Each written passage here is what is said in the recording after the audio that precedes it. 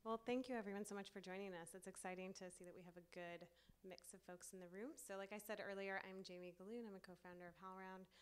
Um, and for those of you who don't know HowlRound, although I hope most of you do, we are uh, a free and open platform for theater makers worldwide that amplifies disruptive, progressive ideas and facilitates connection between diverse practitioners. Um, thank you for joining us tonight here and also online via HowlRound TV. Um, and uh, thank you, a huge thank you to Arts Boston and Stage Source. Julie, you're here. We have some Arts Boston folks here too for their help in getting the word out about this event.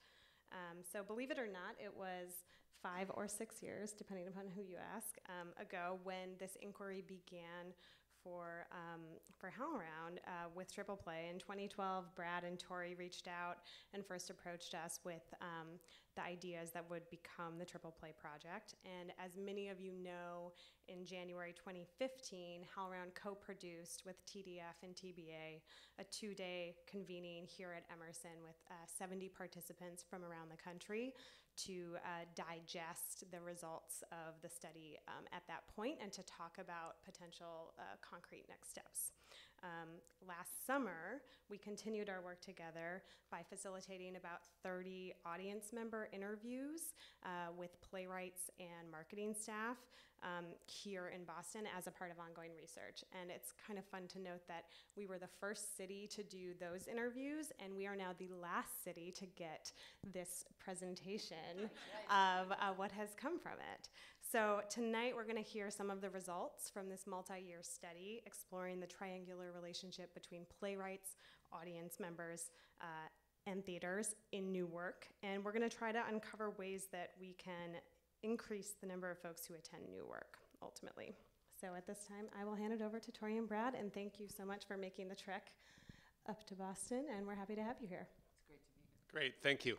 Um, so that actually um, moves us along a couple of slides here. So this is the opening, which we just sort of covered. Um, the next would be Theater Bay Area and Theater Development Fund, who've been the lead partners, but along with many, many others, and we'll be looking at those a little more closely further on in the uh, presentation. Um, one of the things that we wanted to talk about was how we did this work. And what we've discovered is that the very way that the work was done actually points to a new way of doing research in this field and of really activating networks and activating folks potentially around the whole country around things that we want to find out more about and doing it in an efficient way and frankly a way that's pretty cost effective as well. So that's why we're going to spend some time at the beginning just talking about how did we do it because we think it might point to and actually it was it was John Carnwath and, and Alan Brown at Wolf Brown who said you know you guys have sort of you've sort of stumbled onto something here and maybe there's something that we all could be learning from going forward as being a model for how to do research. So we're going to talk about how we actually did the work. Um, where it came from. So in phase one, we the whole idea started at an event that was um, hosted by HowlRound when they were at, then at the arena stage in Washington D.C. It was a convening that took place in a very snowy day in January in 2011, um, and Tory and I were there. Maybe a number of you were there as well. The convening was called "From Scarcity to Abundance," and it was looking um, really particularly at the relationship between artists and particularly generative artists and theater institutions. So, so that was, it was Newworks people from around the country looking at that relationship, how we could, you know, better understand it and strengthen it. That was sort of our, our talking points for the weekend. And the whole thing started out um, with a now pretty um, famous, if slash infamous, um, address by the then director, um, chairman of the National Endowment for the, uh, for the Arts, Rocco Landesman, who was being interviewed by Diane Ragsdale. And uh, Rocco posited that perhaps the biggest problem with the American theater was that there were just too many theaters and that you know it might actually be a good thing and maybe it was the job of the NEA in part to do some judicious pruning so that the resources that were limited um, could go to the healthier sort of parts of the ecosystem. And you can oh yay! Um, you can imagine how that went over with you know a couple hundred practitioners in the room. Not very well. Not well at all. And tori Tory leaned over to me and said, You know, I really don't think that the problem is really about too much supply. The problem is about too little demand. And as service organizations, isn't that really at least part of what we're about, which is increasing demand? So that got some wheels turning. And over the course of the rest of the weekend, as we were exploring this relationship between artists and audiences, audi- artists and theater institutions, someone said, you know, there's a, there's a missing element here, and that is the audience. Isn't there really not a two way sort of relationship, but a three way relationship, maybe a triangular relationship, which is about the institution, the artist, and the audience? And what can the institution be doing to sort of bridge artist and audience? And are we, in fact, sometimes acting rather, uh, rather than a bridge, acting as a wall?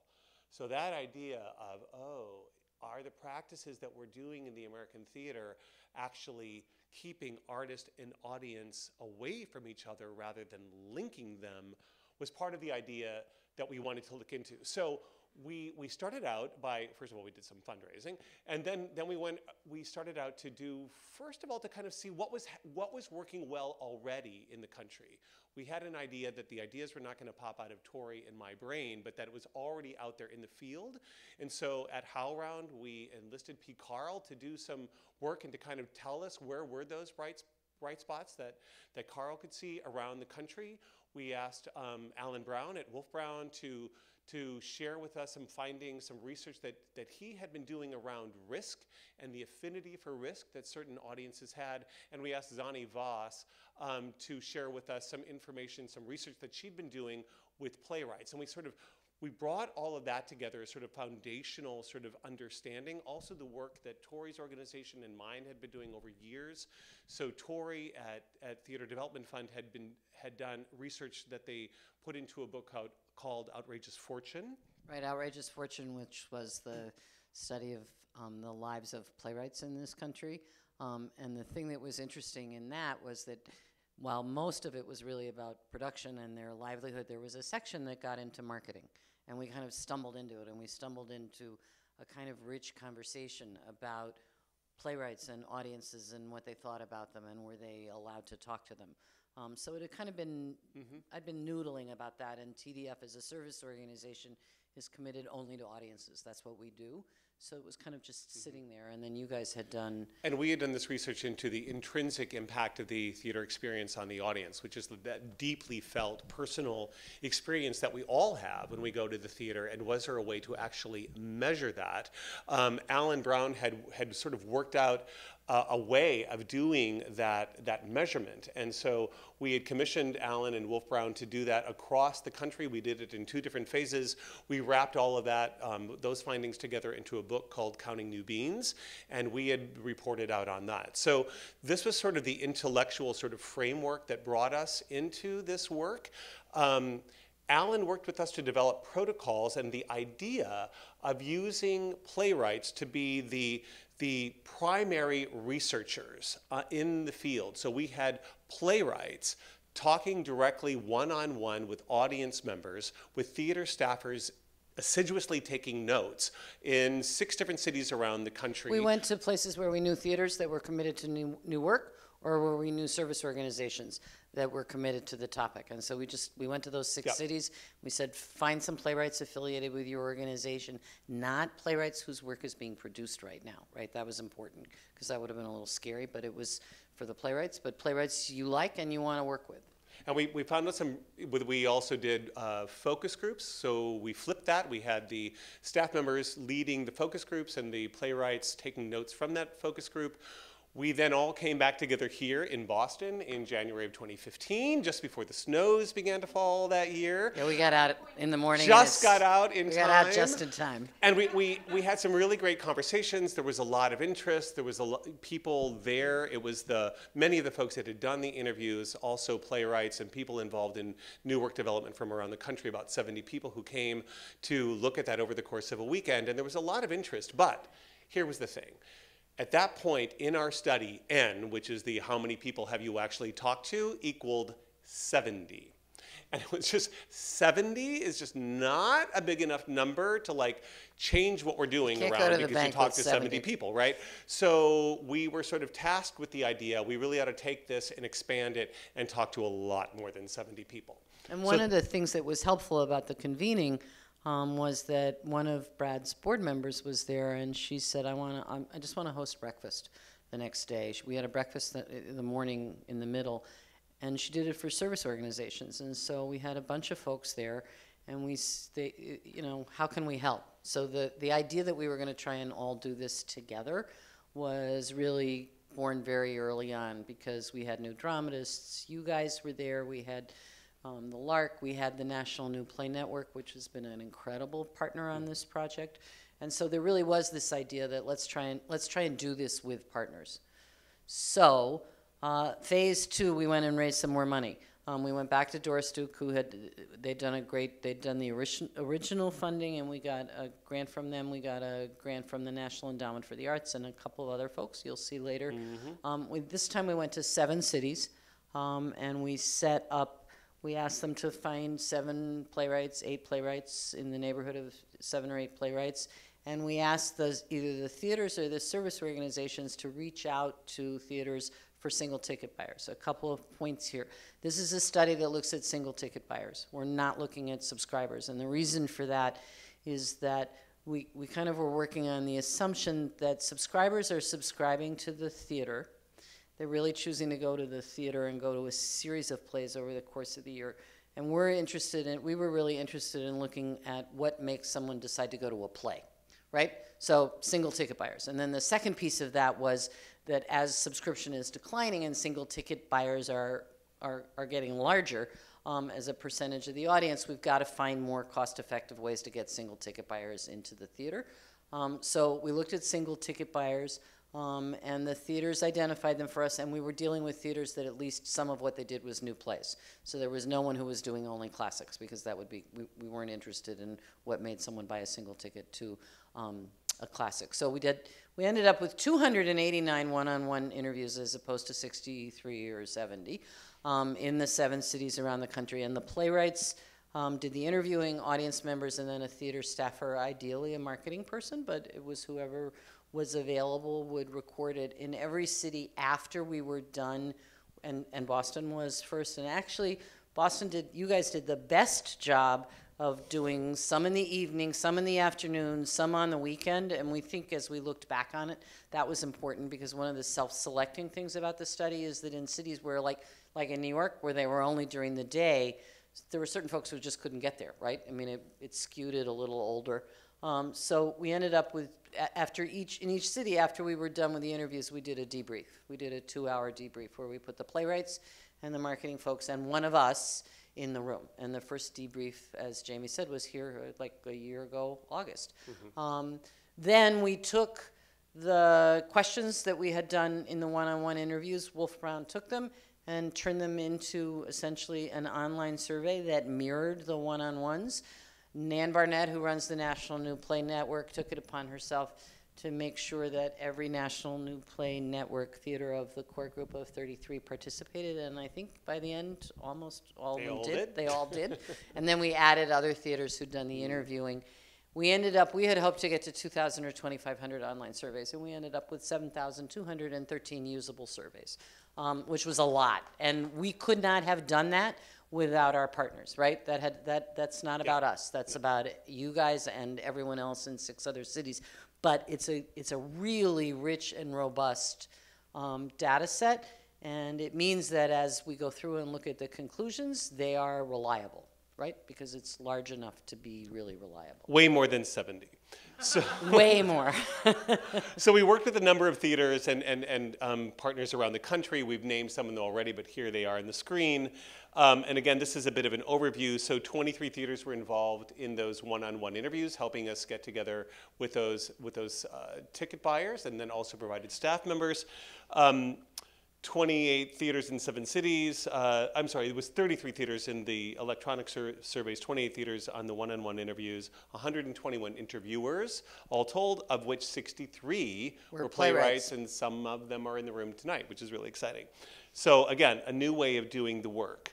Um, and here's some of the funding partners uh, that we mentioned earlier, thanks to all of our funders.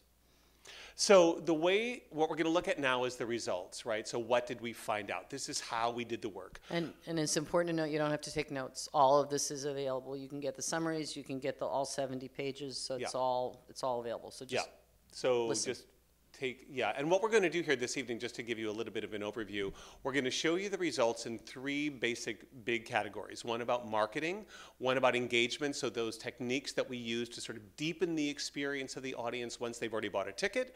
And then the third, really looking at how can we better utilize playwrights themselves to pique the interest and deepen that engagement for audiences, since this whole thing started out with that hunch that there was a way that if we could really utilize the generative artist, that there was some, there was a key that was there that we could use to unlock interest and to deepen engagement. So that'll be the last piece. Then we'll have a bit of Q and A that we'll all do together and online. Then we'll shut down the online piece and we'll break up into small groups. And we've got some questions that we want you all to discuss and then report back to us because really the research is continuing, which is about how the field, how you all as practitioners are responding to this information. And they will, we will be out of here by 8.30. So that's, the, that's an overview of the evening. So we started out, and here's a pretty fancy graph, by asking this question, which is pretty simple. Generally, what do you hope to get out of an evening in the theater? And the first thing is people want to relax and have a good time, which makes sense. You don't go out to have a bad time. So the, that's the first thing that they want to do. The second thing that they want to do is to have this good time with someone that they care about, right? But then pretty quickly, it begins to move into some pretty interesting things. They're very interested, these single ticket buyers who don't go to the theater all that often, in discovering new plays and new playwrights very strong motivator. And right after that is deal with a challenging idea, challenge my assumptions. So, one of the things that we discovered was that for these single ticket buyers, again, who do not go to the theater all that often, that's who we looked for, having a good time out can mean thinking hard. right. Which is really encouraging because I think there are artistic directors in particular who, if you just said, you know, 42% ranked at the very top, um, having a good time, that they would think that means, you know, musicals are 42nd. It doesn't. People actually view being challenged as something that is relaxing and entertaining. And it's important, um, just to caveat here, none of you would have been in this survey, right? We weeded out anybody who worked in the theater, anybody who volunteered in the theater, anybody. The most times you could go to the theater in a year was 10, and in fact, a lot of folks were five and less. So these are really people who, these are not us, right? These are, and, and those folks want to be challenged. Right.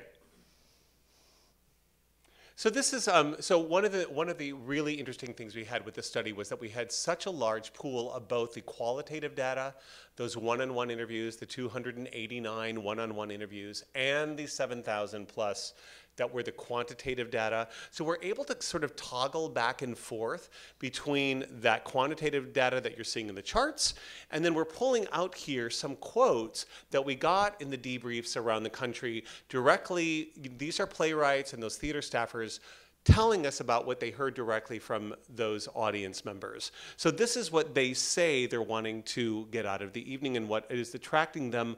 And the, of course, the main thing that we heard was that they want a good story.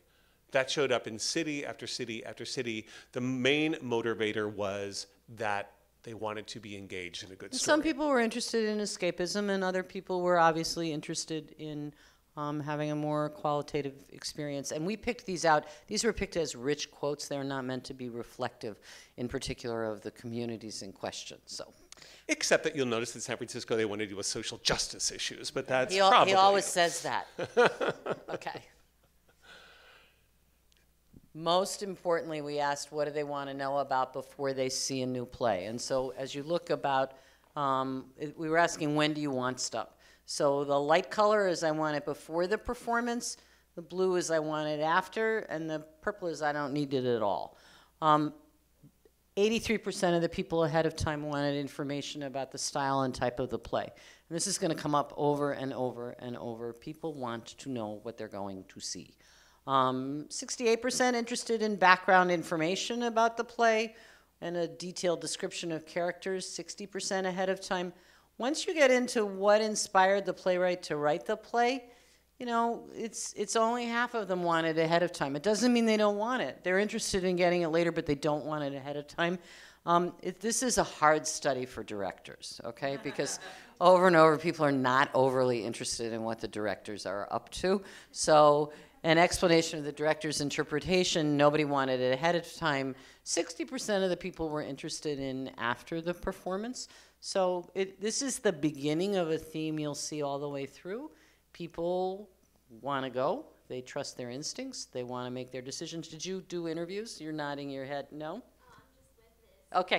No, I didn't. I, did anyone hear of the playwrights do interviews? Yeah, Yeah. right. So it's interesting. I don't know how much resonates and how much doesn't, but they. This is what they want. Not so much interested on that side. Right. And so again, toggling back to the qualitative side, this is how they, they sort of put it in their own words. So for them, the most important thing we do to draw them in to see a new play is what they call that three sentence Sentence blurb. blurb. And what they wanted in that blurb was enough information to understand what the play was about. Oftentimes that can mean the plot. They want an idea of what the plot is about. They want to know what the content is about. What's the theme? What are the ideas behind the play? And they're interested in knowing basically what's the style of the play. They want to have enough information to make a decision. If we don't give them enough information to make a decision, they don't make the decision they make is not to come Is not to come. right? And so when we kind of try to like sneak them in with sort of like it's a it's an enchanting romantic comedy that just says not nothing working. and it doesn't pull them in at all. So I think what would, this was a really important piece that we pulled away is that we shouldn't we don't want to pull in people who are not going to like the play. They've got a pretty strong sense of what they are going to like and what they're not going to like. They trust their own instincts on that if we give them enough information. So give them the information and they trust themselves to make the right decision. And, and we heard it uh, from the very beginning. I remember the, f- the, the session, the debrief we had here. We heard really loud and clear from the interviewers that they had heard from the single ticket buyers. They remember when they've been duped, right? And that's how they, that's how they view it, right? I- If, if they thought they were seeing one thing and they end up seeing something else, they're not happy about it. And they have long memories and they associate that with the venue and they associate that with the act of going to the theater. So, three sentences, that's what Yeah. they want. And as, as Tory has been pointing out, a lot of these single ticket buyers, they're bringing someone else, Right. right? So they're vouching for this play that they have not seen. What To they know about it is from your three sentence blurb to someone else, and suddenly their credibility is on the line when they're watching their spouse squirming in the seat beside them or their best friend. So we want to really set them up to be able to understand as best we can what they're going to see and And prepare as- them well wa- for that. It was at the convening that one of the playwrights said, I think it was Adam Bock, but somebody said, and that doesn't mean you can't keep the secrets. I can, I can, I can tell you the, what my play is about without giving away the thing I don't want anyone to know. You know, the moment. It, it, I can still protect that. Yeah. So. So, how does someone decide to see a play? What do they look up? And about a third of the single ticket buyers, um, the blue is, and this was by age, so under 25, 25 to 44, 45 to 65, 65 plus. Very constant look up their favorite theater companies. So, the brand of your company is important. They don't always distinguish between uh, the a theater company and the building in which a bunch of theater companies perform. Okay, so that's that's a problem, and it's a it came up a lot here, right? Um, but they do look up. They start with the favorite companies. Look for shows featuring favorite playwrights, directors, or actors. Not very many. This is not personality driven, and this relates to stuff we'll get to later. Um, inverse relationship. The purple is uh, good reviews from professional critics. The older you are, the more important it was, right? So the kind of outside affirmation by a professional still way more important to older folks than younger folks. Inversely, the recommendations from friends and family members much more important for people who were younger, which is probably much more reliance on social media. Very few people don't use something to pick a play, right. right? I mean, So, here, spoiler alert, here comes the biggest surprise of the entire research. Are they attracted to the idea of it being a premiere? No, they don't care. Either the word means nothing to them, or we found out in some of the debriefs that it's actually off putting. People tend to conflate premiere with opening night, and they think they have to get all dressed up to have the champagne. Or That happened in, that was big in Atlanta. or they feel that you know the premiere means that it's really kind of still in beta, and they just as soon wait for 2.0 to come around. That happened here a lot. We heard So- that loud and clear, right? Not- loud and clear. We heard Not that in interested Boston. in premiere, even less interested in this, the regional premiere. And this we do in the, this in the Bay Area all the time. We even have South Bay premieres or East Bay premieres. Totally, just you're wasting that you know that real that precious real estate on your postcard is just being And, wasted. and that's the real point is that, you know, we put on the card a world premiere, and that, that's you just only have a little bit of room on the card. It doesn't matter. It- It's just not interesting to them. And as we were talking about this, you know, over the, I've been talking with folks about it as we've been doing it, and there's a lot of marketing directors who were like, well, yeah, I know that. And it's like, okay, but now we really know it because we've seen it with 7,000 plus people, which is different than it. So you can take that to the folks in your theater that think it's really important. And I mean, the, you know, we've had some conversations with people. Where does the premier pressure come from? And a lot of it comes from the funders, right? So this is an interesting thing to share with the funders that it's not necessarily serving building new audiences. Now, th- with this to say, the flip side of this coin is new is good. Right. New, New is fine. is attractive to these audiences. They like new. It's just that premiere doesn't mean anything to them. And if we think about it, we've been talking for years, you know, in our field that there's this premiere-itis. It's really premiere-philia, um, we've, where, where it's in love with premieres, at least, right? So, but to try to get your second production, right, or your third production. But for those folks who haven't lived in that city that did the very first production, it's still brand new to them, and new is exciting. It's just the word premiere doesn't mean anything. And it's important here. One of the things we don't know, this is single ticket buyers. I have no idea how this would play with subscribers, and we've talked about that a little bit. And it may well be that for subscribers, they are in fact subscribing to a particular theater because it does a lot of premieres and they like that. So, I, you know, I don't think this is this isn't global. It's about single ticket buyers as a slice of the audience. We don't know whether it matters with subscribers. Right.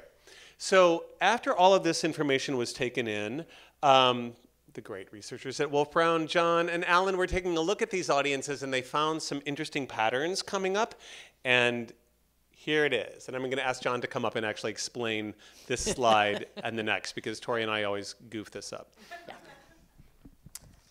Not my strong suit. So um, on, on the survey that we did, uh, we had a number of, of uh, questions that all kind of uh, in different ways asked about people's interest uh, and, and uh, experience going to see new plays. Um, so if you just ask them on a, on a single question, how interested are, are you on, uh, in seeing new plays, I think it was 90% of the respondents uh, gave a score of, of five or up on a seven point scale. So basically, almost everyone said, Yeah, I want to go see new plays. Um, but we, as I said, we had a number of other questions that are kind of related. That we had, well, how many new plays did you see in the last 12 months? How interested are you in seeing plays that are still um, uh, being workshopped? How, how interested are you in seeing early readings of new new plays? Um, uh, if you're um, weighing going to see a classic versus a, a new play, which, which would you choose? So we had a, a total of eight questions like that. And, and then if you add up the scores, then you find that there's some people who are just, you know, they're consistently checking the top top box. They are like, whenever there's a new play, I'm there. Whether it's, you know, early workshop reading, yes. Uh, you know, uh, first production, yes, absolutely. How often you go? All the time. And so these people are ending up at the, the far end of this uh, bell curve. And, and we've, uh, we're, we're referring to them as uh, co-creators because they are they're really interested not only in are they seeing a lot of new plays but they're interested in being a part of the process. Then we have this kind of lump in the middle and we're referring to, um, to them as the enthusiasts. So they're, they're going to new plays, but they're not necessarily, uh, you know, maybe they're more selective in, in seeing the, the plays that, you know, they're, they're interested in for some reason. It's not just that it's a new play. Um, they might not be terribly interested in the, uh, in the you know, first reading of the, of a show. Um, so those are our enthusiasts. And then uh, we have the, the bottom range here we're referring to as skeptics. And you know, in order to be in our data set, uh, these they, they, had to uh, buy a, a, a, single ticket for a, a, new play at some point uh, in the last two years. So I mean, they're not averse to new plays. They're not just not like terribly. They don't seem to be terribly excited about it. Um, uh, so that, that's kind of um, what we did here. We were calling this the, the new play affinity score, and we really just kind of developed this as a way of kind of looking at different groups of audiences based on how excited they are about uh, new plays. And if I just move one yep. slide forward. Um, so when we did this, so as, as, I said, there were a set of questions on the survey that we used to calculate the score. But then we looked at, well, what other variables in the survey are driving that interest? How could we kind of predict which people are really interested in seeing new plays? And what we found what's actually one of the most interesting things is what's not driving it is it's not driven by young people or, or wanting to see new plays uh, it's not driven by race or ethnicity it's not uh, driven by, by the kind of demographic variables um, but we did find that there were there were two kind of um, uh, attitudinal variables that seem to be explaining a lot. That is the desire to challenge one's assumptions um, and ideas about the world, and the desire to engage with important issues in one's community. So there were those two kind of attitudinal um, variables, and then there were two variables around kind of um, aesthetic uh, exploration or aesthetic uh, risk taking that were, were heavily influencing the uh, new play affinity score. That was um, enjoying being taken beyond one's comfort zone with a piece of theater and enjoying plays without a clear narrative, uh, i.e., abstract or nonlinear form. And so we found that those those four components together were, were explaining 30% of uh, people's new play affinity score, which is um, for this type of study a, a, pretty high percentage to explain with just kind of you know uh, uh, for for uh, variables like that. So um, so yeah, so that's the, uh, the, new play affinity score, and and um, as as Brad and Tory go through this, they'll be referring to those skeptics and to the the co-creators uh, occasionally. And I just wanted to make sure that you understand where that uh, terminology and, and uh, is coming from, and and uh, how we develop that. Yeah, and we will see it when we get into the engagement section in a minute or two that will keep popping up over and over again. And these three different types of audiences have very different ways that they that they want to be engaging with that work. Um, one piece that came up, this is you know a little bit of um, we asked them, so they told us uh, suggestion from the audience about what might help them to be more attracted to your next new play.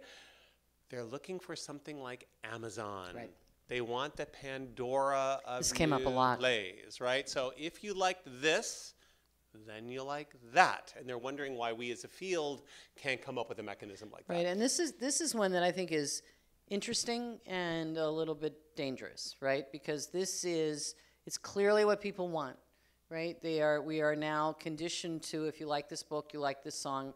I don't know. I mean, I will get recommendations about books based on books I bought that are books that I would never read. So even you know with Amazon, the algorithms are not perfect. Um, people want it. I don't know how you decide that one play is like another play, right? And I don't know. And and we're going to ask you in the um, breakout at the end to one group of you to think about this a little bit more. We're collecting some, we've gotten some very interesting ideas from folks around the country about how you might be able to do this. Um, one thing I'll share with you is that people think that maybe it's come up, I think almost everywhere, that one of the things is that you use television shows as a reference point. That you actually think about, you know, is this, this is like orange, if you like orange is the new black then, right? So that you're actually picking something out. You're not picking another play. You're picking something that has a sensibility or a, involves a world that is not unlike the world of the play. But it, I think we have to reckon with it because the fact that everybody said it over and over means that it is what people are looking for. Mm-hmm. Mm-hmm. Yep. So now we're moving into the engagement section as we talked about. Um, the first thing that we looked at is like, how do people want to reflect about the experience that they've had in the theater after the show is over. uh, and you can see, it, you know, it's from dark at the bottom and light at the top. About half of the people are interested in, in engaging in conversation about the work with in some way, whether that's one-on-one with the person that they came with or in an organized talk back afterwards. About half the folks are really interested in verbally engaging um, in discussion about the play afterwards. About another half would really just as soon reflect on it quietly on their own. And, and this is important because I think we spend a lot of time taking care of the people at the top half who want to engage in vigorous conversation. We don't spend very much time, and perhaps we don't value enough the people who are actually interested in reflecting privately. Um, but they're important, and that reflection is part of what heightens the impact, which is part of what means that they may come again right? And so, how, you know, A- Alan and John raised that this poses the question what do we do for those folks, right? What can we do for them to address what they're, the way they want to reflect afterwards? Right. So this slide shows you the different ways that these different audience members like or don't like getting involved with these engagement activities that we've devised, right? And so the purple are the skeptics, the green are the enthusiasts, and that sort of reddish color are the co-creators. And as you can see, they're sort of mirror images of each other. What the skeptics like, the co-creators don't like, and vice versa. So it's really important to keep that in mind. So the the first one was when do you want, you know, do how well do you want to be informed about the play before you walk into the theater? And for those skeptics, they really want to know about the play before they walk in. They want to have you know, they want to have a, a, good deal of information so they're ready, they're set, they, they're, they're sort of prepared for that experience. The, the co-creators are much more willing to just go on a ride Go with, with the you. flow, right? They are ready to just, just bring it to me, right? And so those, and the enthusiasts are be, in between, as you can see all the way through. So that's a difference that we're seeing. Um, talkbacks, right? So those co-creators, they are there. They're still hanging out in the in the theater with you. The skeptics, they're out the door, right? They are. they boop, they're out to the they're out to the parking lot to get their car and get out of here. Tory had this idea. The idea. next one, I had this really interesting idea that um, what if you did informal discussion groups in the lobby afterwards and people could join them where they saw fit? Nobody wants to do that. Nobody. So Don't try it. you know, all ideas, not all ideas are good ones. Um, additional information about the cast. Again, the co-creators want it. The skeptics, not so much. Co-creators want to hear from the playwright. Skeptics, not so much. Yeah. And so this is just zeroing in. It's sort of like a close-up of this. But again, you can see that sort of mirror effect, that being well-informed versus being a blank canvas, and then the other um, vigorously discussing the play immediately afterwards. They're just mirror opposites. So very different responses. And what are we doing to sort of welcome and engage folks where they are on that spectrum? And, and I think something that is important here, we heard one of the frustrations for a lot of the theater folks was when they were doing the interviews was they would hear from people that they were interviewing, I would love it if. And they're like, but we do that, and it's not landing. And I think part that, that there may be in this when people want to receive and who they are, mm-hmm. figuring out where your single ticket buyer is on this thing has to will help you in getting them the information when they are most likely to read it, right? And if you think about what most theaters do, theaters are getting better and better at sending you out stuff ahead of time, right? When I've bought a ticket, I get a lot of stuff ahead of time. There are people who don't want it ahead of time. They want it afterwards. And if you send it to them ahead of time, they're not going to read it because they're not ready for it. And if you send if you never send it to them afterwards, they don't think about it. And the other thing is they kind of want it right away, right? Because by the next morning, they're off. They're they're they're back to their day. They've gone to work. The the moment to grab people is when they're going, you know, right after they get home, when they're in the car. That's the moment to grab them. And one of the things that I would say is, with that information, a lot of us, um, especially in the regional theater, I found there's really a difference between the, the playbills in New York and the playbills that we have in the regions. Um, so in the regions, we fill our playbills with lots of information, right? There's there's something from the director, the artistic director, the playwright has written something, the dramaturg has put in a piece. It's like a whole little compendium of essays about the work. And I don't know if you do this here in Boston, but in in the Bay Area, we're very, you know, we're green, we're wanting to save paper, people trying to save money, and they're all like, could you put your program back over here? We're going to to use it again tomorrow. Don't do that. Really don't do that. They are taking that information home. They're poring over it the next day, over their breakfast when they get home, reading it on the subway. On the it deepens that impact, and a lot of them. And Alan pointed this out in our intrinsic impact work. They will hold onto it for years and go back and look at it again and be reminded of the play, and it'll make them want to go back and see another play and go back to your theater. And it's really worth whatever you spent on that printing of that program. Let them keep it. It's really important. so that's just one one thing. The next thing we looked at is like, what is the information that we're giving them from whom and when do they want to get it? So the, the largest thing that everybody wants is to talk about the play on the way home or over drinks or dinner. Forty-six percent of the people, uh, that's what they're the most interested in. Um, receiving information directly from the playwright about his or her creative process and thinking. You know, twenty-three percent that rank that at seven, but there's still a, f- uh, not as, clearly not as much as this, but there's still a fair number of people who are interested in that. Nobody wants, uh, oh, stay afterwards for talkbacks with artists involved in the play. Again, at least half of them are six, seven, five, six, and seven on that. If you look at the 70 page one, the key here is artists. Okay? They are not particularly interested in talking to the dramaturgs. They're not particularly interested in talking to the marketing associates. As came up, this came up in Washington, D.C., where I guess a lot of theaters all the time now, it's a city full of experts. So they bring in experts on subjects, right? People don't want that. They actually want to talk to the artists. Um, receiving informa- additional information about the cast, yeah, not as important. Um, informal, self-guided discussion circles in the lobby, nobody wants to do.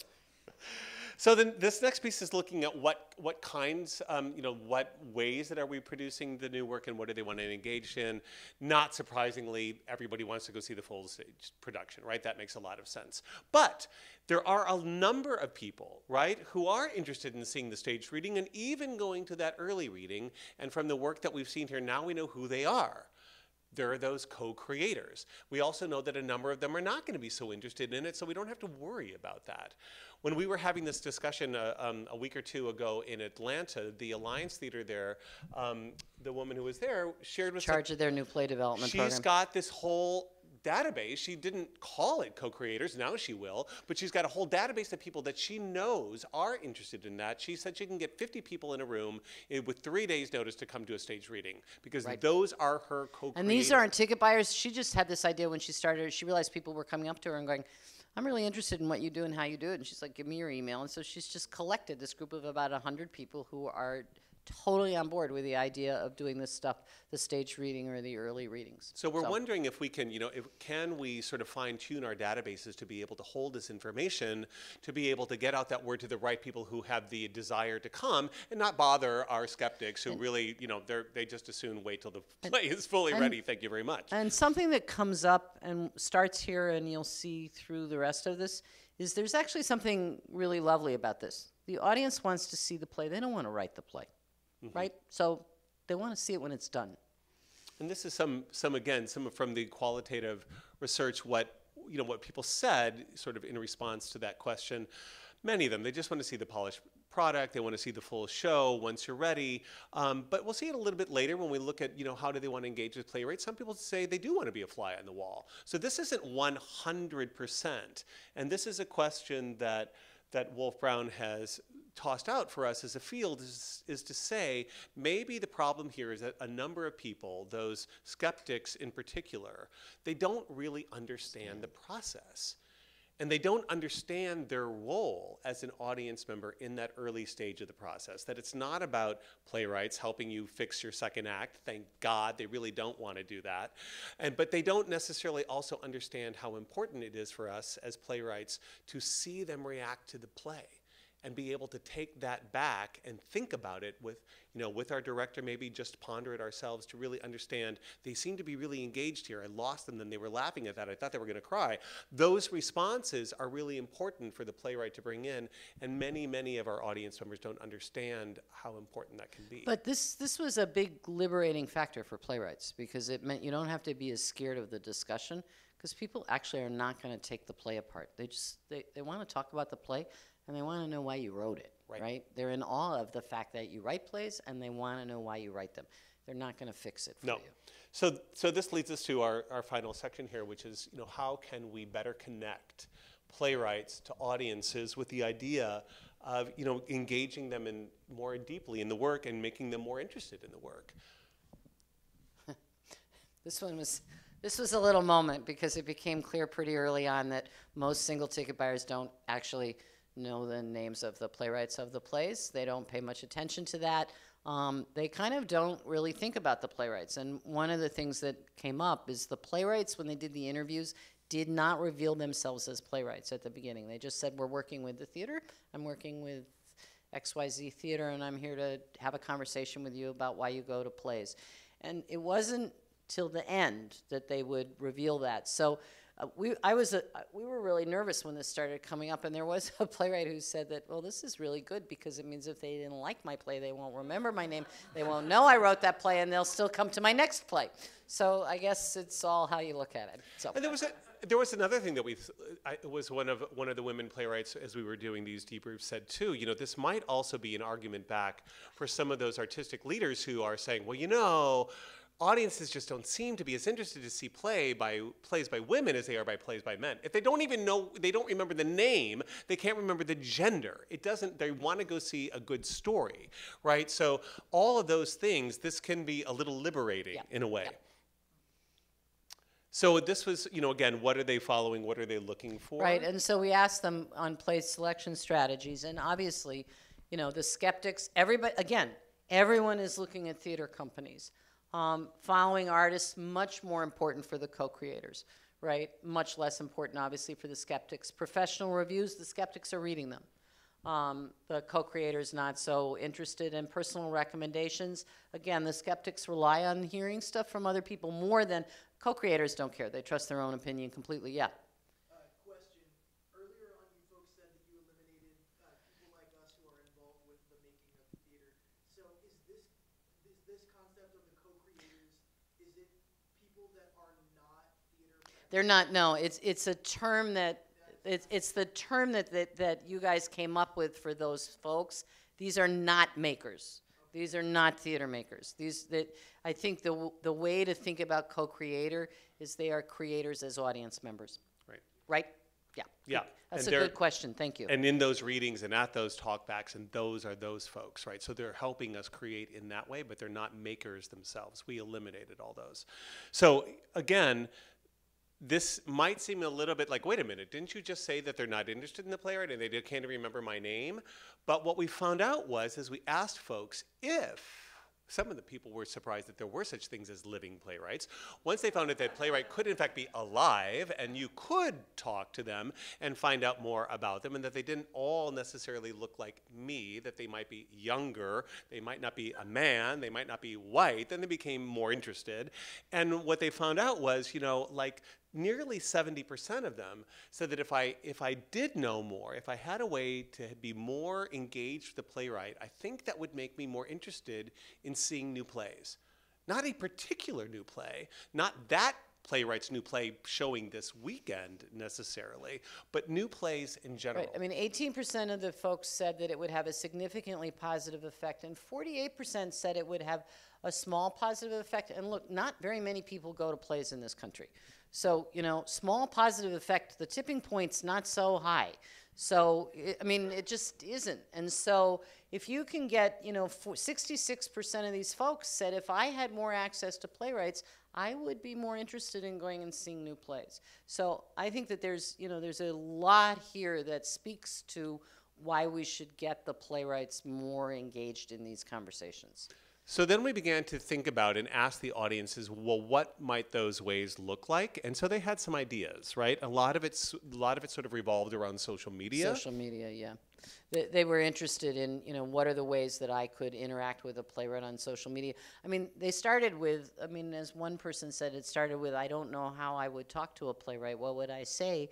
And the playwright said, Well, you've been talking to a playwright for 55 minutes now, and you seem to have done fine, right? And so, as you kind of demystified it a little bit, and that, you know, that demystification may have something to do with this problem of elitism that, you know, a lot of people are scared of the theater, and I think maybe the person they understand the least is the playwright because they just don't understand what that. I mean, you kind of get what a director does and you get what actors do. I, I think their feeling about what makes someone sit down in front of a computer and write a play is really scary to them. And so I think these, this idea about, you know, should you do Instagram, should you do Facebook, what, what are the things you could do, is they see this as a, as a way that they could get engaged. Right. And again, they're, they understand that they don't have the sort of expertise to to help us rewrite our whatever or like you know po- post the great greatest ideas for like how to fix your play which is i think to a lot of us really good news i think a way that we might be able to engage them into eh, in a place where they are in fact experts which is on their own response to your play each audience member is the expert on their response to your play. And there, we, if we can engage them on that, which is really that intrinsic impact, right? How did it hit them? And it's fascinating for us to know what that is, and they can be the experts on that. They are the experts on that. There aren't any other experts except them on how they responded to the play. And if we can, maybe if we can bring them up and have that conversation about how did you respond to the play, and then they're wanting to know why did we as playwrights write the play in the first place, and what makes us tick, and why would you do something as weird with your life as to be a playwright? Those are things that are interesting to them that they want to know mm-hmm. about, and that we think and they think might make them more interested in coming soon to see new works. And, and the other thing is, people rightly say there's a lot of opportunities for video. There's a lot of opportunities for podcast. There's a lot of opportunities to see rehearsal. There's a lot they don't understand about the things that get in our way um, in terms of what we can and can't put out there. But they're really looking for us to put some stuff, uh, do podcasts, put some stuff on video that they can have access to. It doesn't seem so hard to them. Right. So that is it. That's what we found. Um, and now we want to enter- entertain some questions, some comments, do that together as a group. And then again, we'll do that for a few minutes. And once we've finished with that, we'll break up into small groups and we'll have you answering some questions that we've been looking at across the country. So Q&A. Yeah. Um, I had a question about the four variables. Was it that that was um, somewhat true of skeptics and very true of co- co-creators, or was it that it was? Did it?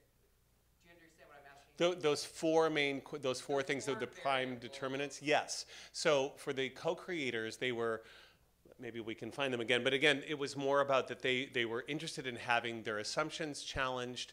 They were interested in dealing with difficult topics. They were interested in being taken out of their comfort zone. They were interested in seeing works that were not necessarily linear. And the more that you were wanting to do that. So they were ranking it high. Yes. What? Uh, my question was: Was Hmm. that a little true of the skeptics, or was that perhaps Not true at all. true of the skeptics? John? There- Take a microphone because we're, we're on air. So, so what, what you were seeing was a, a regression analysis. So, so, so basically, uh, the higher someone rated uh, um, any one of those variables, the higher their score was likely to be. And higher scores means pushing them out on that, that graph towards the co- co-creators. I, I So- guess my question is, like, all of those variables seem to be an interest in risk. Like, is there a point at which we would push that message to the point where we started to suppress the interest of skeptics, or do we think, do we think we will definitely get the co-creators and, and at least pique the interest of skeptics? I mean, I, I- guess the other thing I, I want to say is while um, those, those variables are explaining a lot, like if, if you just kind of on, on kind of general attitudinal behavior try to kind of model uh, who smokes or doesn't smoke or, or things like that, kind of being able to explain 30% is a lot, but at the same time, it's like it's 30, like it's increasing the odds that you would be really interested in seeing new plays or being a, a, co-creator. But it's uh, obviously there there are some people who might respond highly and and not. Uh, One of the questions category, we're so- going to ask you guys to think about is this question of do we want to move people along that spectrum? Is that a good thing? Who you, do you want to mix in the audience, or do you want them all at one end or the other? So I actually am not sure there's a one answer to that, right? I think it really is. It's it's a way of thinking about how people are and who do you want in your house. And another question that we are going to ask you to think about is this whole issue of risk, and is that even the right word? Mm-hmm. Yeah, I mean, I guess I think it's um, right now, at least at my theater, we think of single ticket messaging as its own sort of monolith of like there's subscriber messaging and single ticket messaging, and you're saying there's actually three messages. At least, right? One of the things we I, I am convinced of, the more we look at this and talk to people and other stuff that we're doing, and you get the idea that we do one single ticket description for everyone who's not a subscriber is probably not helping us. And there are, and, and so the, the thing that's interesting about this curve is we got to figure out how to figure out what somebody is, right? Because right now we don't have the tools necessarily to say, oh, you're a skeptic in my database and you're a co-creator, so you two should be getting different, Different information. marketing. One of the next questions I think is how do we figure out who's who and what data do you need and is there something we could be doing? And it, we, we've been talking, it's come up more than once. Um, could we be using the big list for that, right? Could you be using, right? Is, are, th- what are the characteristics that we need to look at? And I don't think, I don't think we've answered that yet. The other thing we can do, can we build a predictive model that Right. we can apply? Right. I mean, I, I think it's really interesting to think about because it would help you. Because I think there's no question, but that the skeptics, you give them some of the stuff you're giving the co-creators, and they're like, "Not me," right? And that may not be the case. Yeah. I just have one of my, I'm nothing, uh, as someone who engages with my audience directly on a regular basis, nothing that you've said about marketing is new to me. I've always known that they don't care who wrote it, or they care a little bit about who's in it, but that's about it. So I feel like part of the conversation is, um, you know, the, the three cents for how we market all of our shows. There's not like a how you market a new play versus Mm-hmm, mm-hmm, mm-hmm. a marketing strategy. And then there's a question about um, how much we do to engage our audience. And I feel like probably a lot of us are doing cartwheels um, to try and make people want to come. And it sounds like that we don't have to do that much. Yeah. But then I feel like a lot of us who have new play development programs now, the discovery is, oh, I'm really uh, facilitating this entire program around funding. So then I think that to me is the more interesting question is how do we get out of that? Like, How do you use this information to get out of that so we don't have to keep, I mean, as I'm, you know, getting ready to send blurbs for Shubert so that they know we really like new plays. Like, how do we, how do we use that information to get out of that? Because that's the biggest information to me. I don't. They heard it this morning. Yeah, they right? I mean, seriously, that's part of how you do it. Is you you start sharing it with people. Um, I think probably. I don't know it from this, but I- think it has to do with us figuring out a little bit what why people value new. Right, and so it, it's a little bit about trying to get underneath what are they really valuing or saying is important. And I don't think mm-hmm. I- I think you know people are again. It's the the new is okay. It's just the premiere thing, right? And so I think very clearly, you know, someone who a playwright who's dead, even if they haven't been to that play before, that's not a new play, right? They understand a Shakespeare play they haven't seen. I, I've told this story a couple of times. We're doing some other research at TDF where we're looking at um, single ticket buyers who go less than they used to to plays, and why is that? And we're just at the beginning of the research, and we're doing focus groups, and I had a kind of um, soul deadening experience where one of the focus groups we asked them, you know, ha- what new place, what have you been to a play in the last two years, three years? No, yeah, and they to a group, they actually the eight of them said they'd never been to a play. They'd been to a musical, they'd never been to a play. So I was, and, and this was Broadway ticket buyers, okay? So this is not folks going to the nonprofit sector. So I, you can send in a message with to the focus group leaders, right? So I sent in and I said, ask them if they've ever seen Shakespeare. And they all said, oh, absolutely, we've been to Shakespeare. And not only had they been to Shakespeare, they then had a conversation amongst themselves about did they like the midsummers better? Did they like the history plays better? What about the tragedies? So what do they what what did what do they even hear when we say play? So the idea that shakespeare was not a play that was shakespeare right? So i think all of this is there's a language it's a long way of saying i think for the funder for all of us there's a language piece mm-hmm. that we have to figure out better make sense? Yeah. I'm wrestling with a rhetorical question as I sit here, um, around the idea of, um, so much of this conversation has rightly been about, um, strategizing as, as theater producers. Mhm. But I wonder too about, um, in this age of social media and personal branding, what can playwrights and, uh, generative theater artists be doing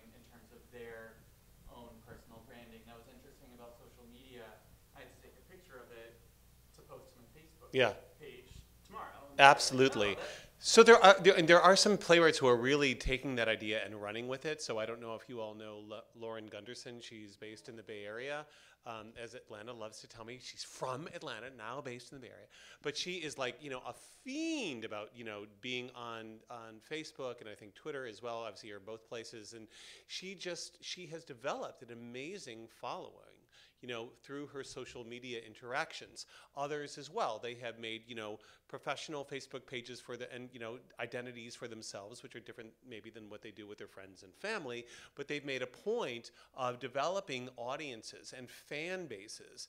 And that's one of the things that we'll be talking about when we break into small groups is how can theater companies, how can the producers be helping that to happen? And how can they be helping their audiences to follow you as you go from their theater to another theater and following your trajectory around and maybe the trajectory of the work as well.